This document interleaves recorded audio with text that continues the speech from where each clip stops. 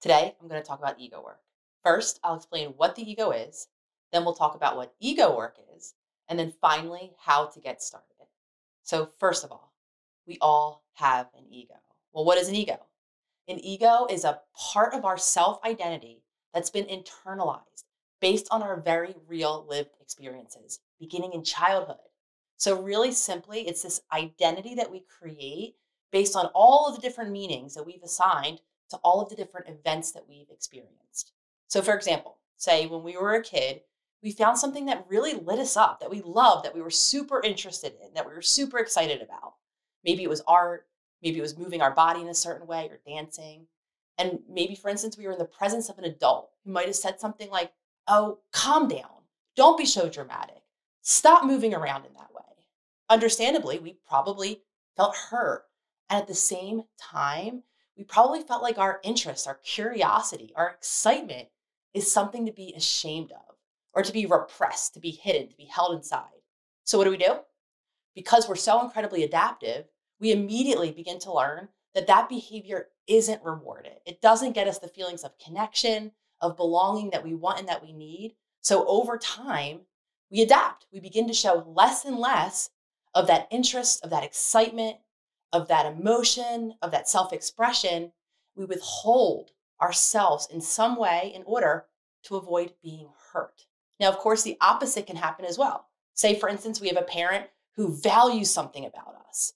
Maybe it's our athletic ability, our academic ability, but maybe we're really not that into the thing that they value. We're not into sports. We're not into whatever is important to them.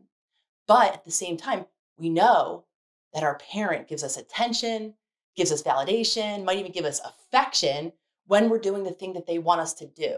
So naturally, we end up putting more effort into that thing, even though it doesn't light us up. We don't care about it. It's not our interest. This was so much a part of my own journey. I saw so early on in my family, with my mom in particular, who was generally really emotionally shut down, except when I was achieving, whether it was academically or athletically. So to see and to have that presence of my mom that I desperately wanted when I was achieving, over time, what did I do? I kept achieving in the ways that made her proud, that allowed her to validate me, and that allowed us to have those connected moments. Even if over time I came to realize that the things that my mom was interested in and valued weren't really the things that I valued myself. Yet I kept pushing myself to achieve. Why? Because I, like all of you listening, we will continue to adapt. We will continue to develop and create this ego identity over time as a way of protecting ourselves because we don't want to go back and feel that same hurt. So we keep all of those aspects of ourselves suppressed. We keep living as this assumed identity so that we can keep ourselves protected. So, what ego work really is, is the practice of separating ourselves from our ego. So we can consciously witness all of the habitual reactive patterns that our ego typically drives us into so that we can begin to create space for more authentically aligned choices. So, here are the steps to begin ego work. The first step, you want to name your ego. By giving our ego a name, we're already beginning that practice of separating from our ego so that we can begin to not only witness, but to understand our conditioned reactions and all of those habitual behaviors that we've grown to know as us or as our identity. This will create, this separation will create the possibility or the opportunity for us to create new responses. The second step, once we give our ego a name, we want to begin to witness the different, often repeated stories that our ego tells us. Now, of course, they're going to be different for each of us, though, really commonly at our core, so many of us struggle or have a deep ego belief that we're not enough, or that we're not worthy, or that some aspects of our self expression make us not enough or make us not worthy by beginning to separate and view that story or witnessing that story, we can see then all of the chain reactions that happens if and when we believe the story as we have for so long. Which brings us to that third step. We want to witness consciously then what happens, what reactions we have when we believe our ego story to be true. So when I believe whatever story my ego is telling me, how is it that I react?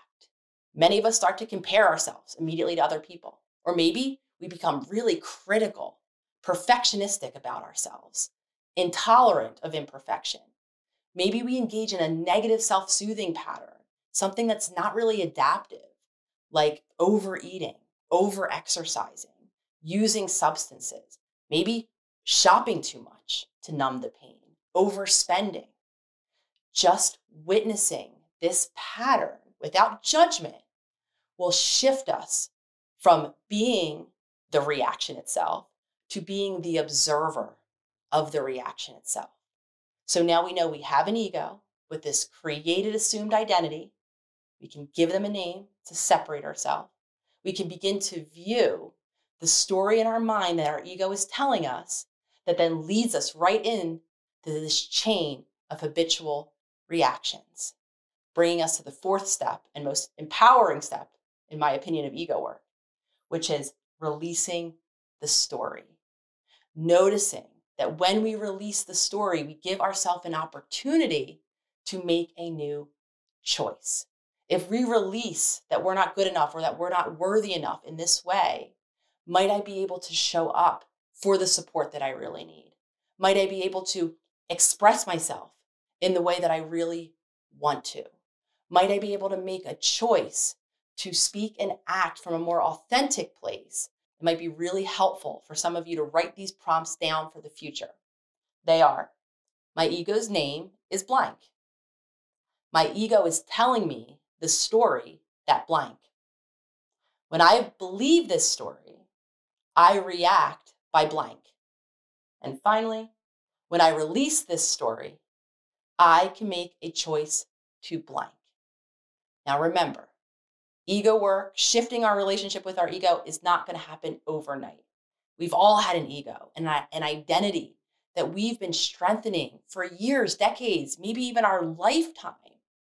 When we begin the practice of ego work, of separating and observing these habitual patterns, we give ourselves the opportunity to finally, sometimes for the first time in our life, begin to make choices that are more authentically driven based on who we actually are.